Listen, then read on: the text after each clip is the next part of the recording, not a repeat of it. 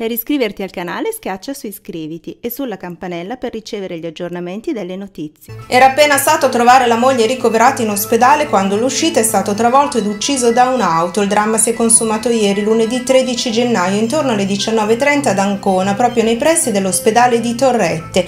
La vittima è Giuseppe Galdelli, un pensionato di 81 anni, originario di Fabriano e residente a Chiaravalle. L'anziano è stato investito da un uomo di 70 anni che era alla guida di una Opel Meriva. I soccorritori soccorritori del 118 intervenuti sul posto hanno tentato il possibile per salvare Giuseppe, ma tutto è stato inutile. Dopo aver fatto un volo di oltre 10 metri era andato in arresto cardiaco e aveva perso conoscenza, morendo poi al pronto soccorso.